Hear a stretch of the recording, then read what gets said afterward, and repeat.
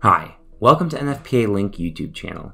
This page is dedicated to answering key questions that you have related to fire, electrical, and life safety. With easy to use digital access to NFPA codes and standards, NFPA Link is your window to productivity. So one of the most common questions we get here at NFPA when it comes to protection of storage using NFPA 13 is, how do pallets affect commodity classifications? It's important to understand that pallets can pretty drastically change the fire load of a commodity. Let's take a look over in Chapter 20 to see the requirements.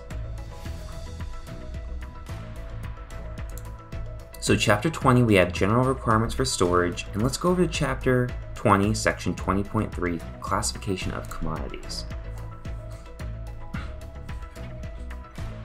So we're in 20.3, and let's scroll down to 20 0.3.2 pallet types. Alright, so this first section is pretty standard. It says when loads are palletized, the use of wood or metal pallets or listed pallets equivalent to wood shall be assumed in the classification of commodities.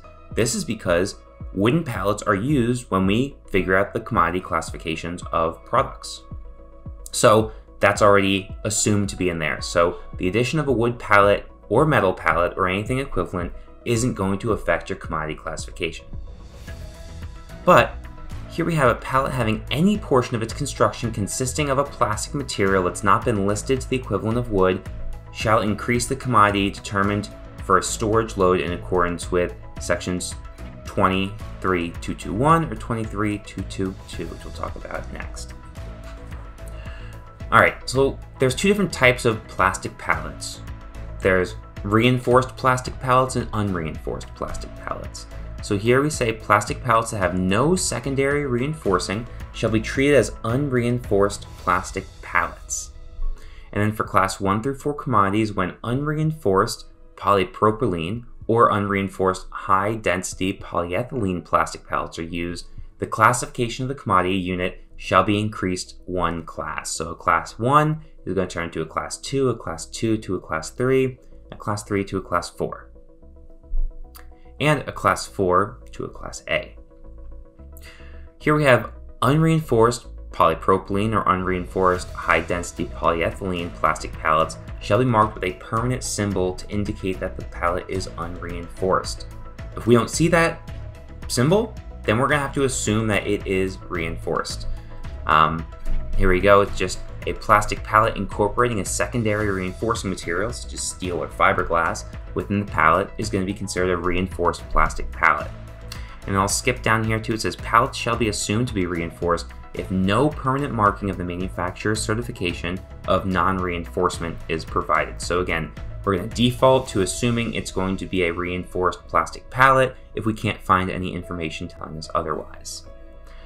Here we have for class 1 through class 4 commodities, when reinforced polypropylene or reinforced high-density polyethylene plastic pallets are used, the classification of the commodity unit shall be increased two classes, except for class 4 commodity, which shall be increased to a cartoned, non-expanded Group A plastic commodity. So again, instead of one class, it's going to go two classes for a reinforced plastic pallet. Here it says no increase in the commodity shall be required for Group A plastic commodities, since that's already kind of the most extreme commodity that we have. This right here is an interesting detail that not a lot of people are aware of, that for ceiling only sprinkler protection, so not using in-rack sprinklers, these requirements shall not apply where plastic pallets are used and where the system sprinkler system uses spray sprinklers with a minimum K factor of, of 16.8. So again, these larger K factors, you're not going to have to take this into consideration. Here, the requirements of these sections shall not apply to non-wood pallets that have demonstrated a fire hazard that's equal or less to wood pallets and are listed as such. So if you have some sort of plastic material that's been tested and shown, hey, this burns just like wood, or hey, it burns like metal because it doesn't burn, then you're allowed to use those and not have to do those increases in commodities. So, when we look at plastic pallets other than polypropylene or high density polyethylene, you saw those were called out specifically in the requirements above. Uh, so, what happens when you're not using those? So, For class 1 through class 3 commodities stored on plastic pallets that are not those polypropylene or high density polyethylene, classification of the commodity unit is, shall be determined by specific testing conducted by an approved testing laboratory or shall be increased two classes. So again, that one class uh, addition is going to be bumped up to a 2 class if it's not polypropylene or high density polyethylene, even if it's non-reinforced. And here for class 4 commodities stored on plastic pallets other than those polypropylene or high density polyethylene, uh, the classification shall be increased to a cartoned, non-expanded group A plastic commodity, which is kind of uh, one of those higher ones. And then finally, we have a requirement here talks about slave pallets. So slave pallets are these flat wooden pallets that uh, you know you might put on the bottom of the product so they can go on rollers and things like that. So where solid flat bottom combustible pallets are used for rack storage of class 1 through class 4 commodities up to 25 feet in height in combination with CMDA sprinklers, we have a certain section that's going to apply.